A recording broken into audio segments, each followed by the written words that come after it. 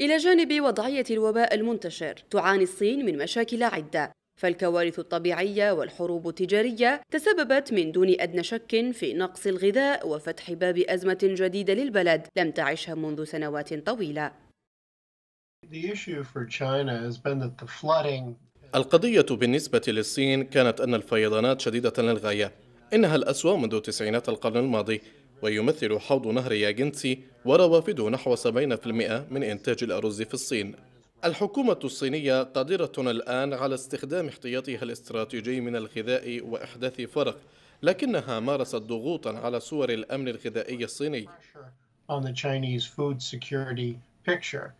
بين الجفاف الذي شهدته البلاد في فصل الصيف وحمى الخنازير التي تسببت في موت نسبة كبيرة منهم هناك عامل إضافي كانت له حصة الأسد في تدهور الأوضاع في الصين الفيضانات التي اجتاحت بعض المناطق متسببة في ضربة موجعة للاقتصاد والغذاء في بلد يعتبر الأكثر اكتظاظا في العالم فكيف ستتعامل الصين مع هذه الأزمات المتتالية؟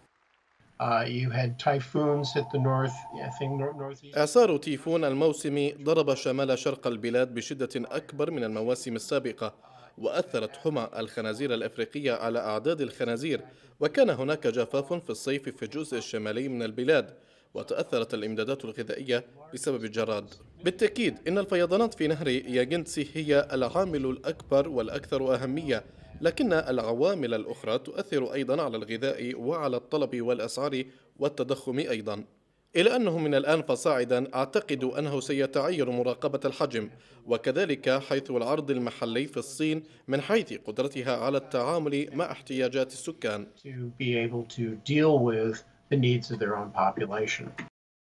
يصعب على الصين الخروج بسهولة من هذه الأزمة الغذائية إلا بالتعاون مع دول على عداء معها.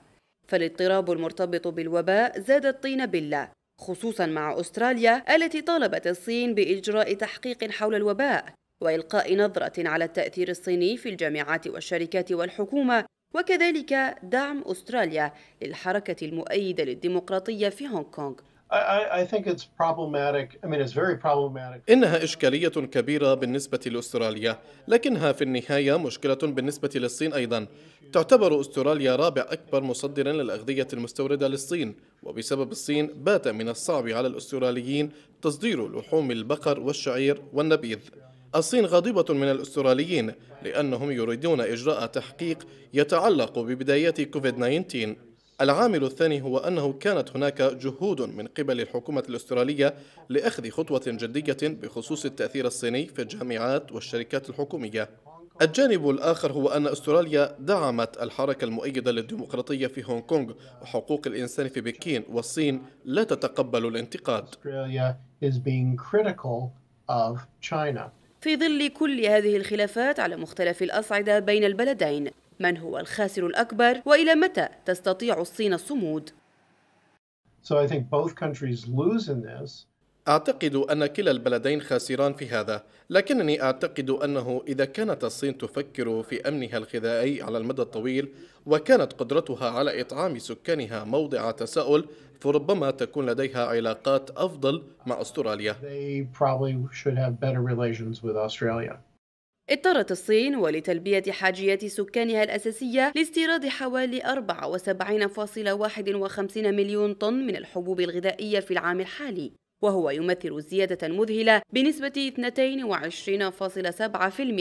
في واردات الحبوب الغذائية عن العام الماضي. نحن نرى أن الصين كانت ناشطة للغاية فيما يتعلق بشراء الذرة والقمح في الأسواق الدولية حيث أن هناك حاجة للحبوب الأساسية في الصين. لقد رأينا بالفعل انخفاضا في واردات الأرز. هل نرى الصين تدخل السوق وتشتري أرزا من دول أخرى؟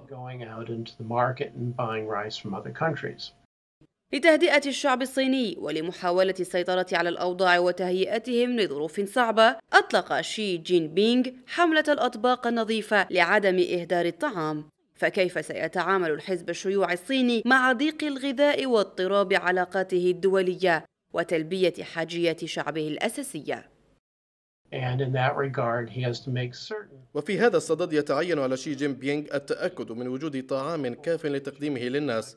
لا يجوز للناس في الصين الخروج والتظاهر ضد الحقوق الديمقراطية أو الحريات المدنية لكن هناك شيئا واحدا يهتمون به وهو ما إذا كان الطعام الذي يصلهم يكفيهم أم لا. لذا فإن حملة الأطباق النظيفة تتلخص حقا في تأهيل السكان نفسيا.